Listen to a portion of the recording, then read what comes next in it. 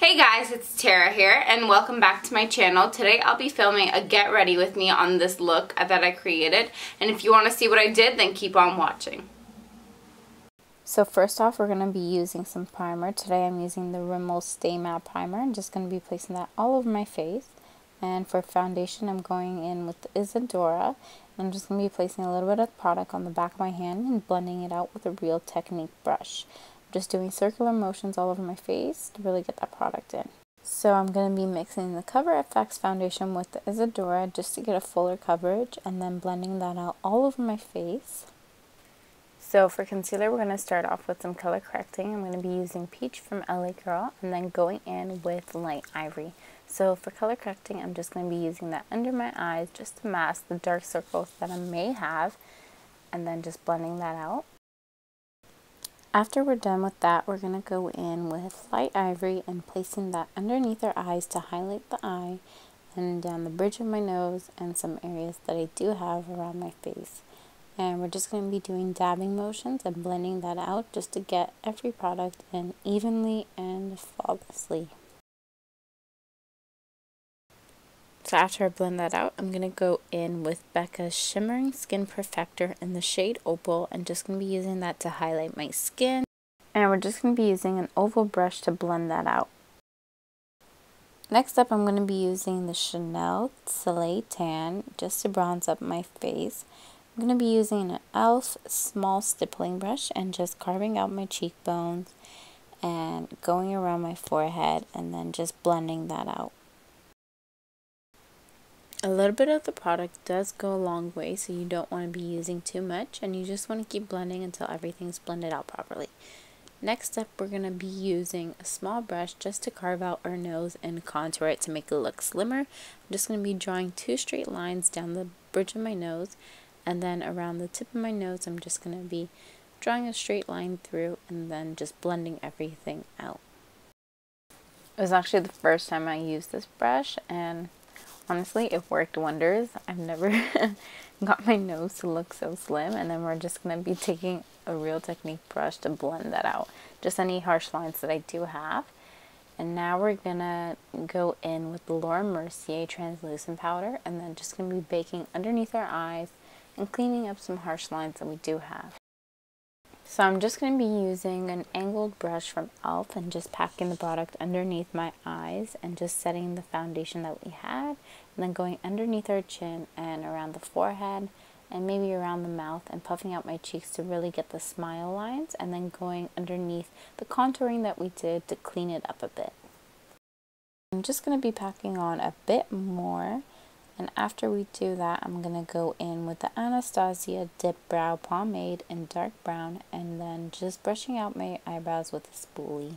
So next up we're going to be using this wax by MAC and we're just going to be pressing that down on our eyebrows to set our eyebrows in place.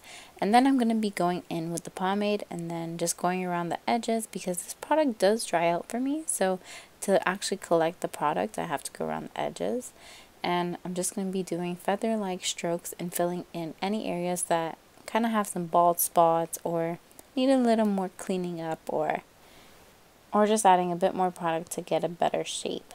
I'm just going to be continuing to do feather like strokes until I get the shape that I want. And after we do that, we're going to go in back with the spoolie and brush it out so all our hairs are going in the same direction. We're now going to go off with the eyeshadow primer from e.l.f. and we're just going to be placing that all over our eyelids and using our fingers to blend that out to get a smooth finish. And then we're going to go in with the Morphe and Kathleen Lights eyeshadow palette and getting the lightest shade and dusting that all over our eyelids to set the eyeshadow primer that we had placed. So now we're going to take that orange shade right in the middle and placing that in our crease and using that as our transition shade and blending that out back and forth just to diffuse the look and get a nice finish. And then we're going to go in with that purple shade and putting that in the outer corners and blending that out into our crease.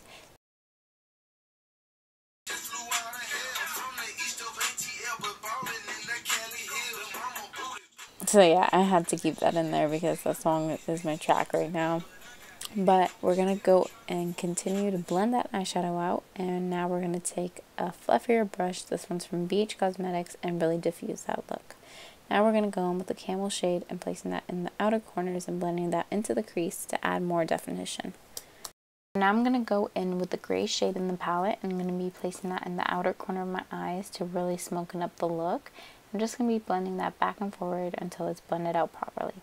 Now I'm going to go in with the nice shimmer shade right beside the gray tone and placing that all over my eyelid to really make the eyes pop and complete the look. Now I'm going to take a fluffy brush and just blend out all the powder and make sure everything's blended out and a trick that I like to do is pinch the brush and go around the edges of my eyes so it really gets a sharp clean eyeshadow look. So, so for my eyeliner what I like to do is make small strokes and then make a triangle shape at the end and then connect the lines to really get a nice crisp line and then just making small strokes until I get the line that I want. So once I get the line that I like, I'm going to go in back with the palette and grab that camel shade and put that underneath my eyes and just to complete the eyeshadow look and make everything come together. So funny story, somebody just crashed in front of my house, so I had to stop recording and go investigate. But yeah, so so we're going to continue blending and then taking that nice gold shade in the palette and placing that in the inner corners of our eyes to really make the eyes pop. Next, I'm going to be using this e.l.f. palette. It has two blush tones and one highlight and one contour shade. And I'm just going to be using that blush shade and then just putting that all over my cheeks and buffing it out. So now we're going to go in with that contour shade and then just buff it out on my face and really making the contour pop.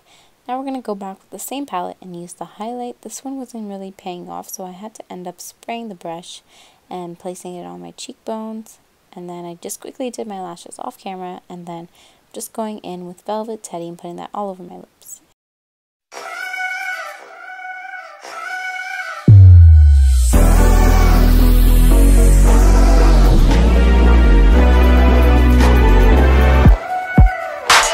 They sleeping, they sleeping, they sleeping, they sleeping on me.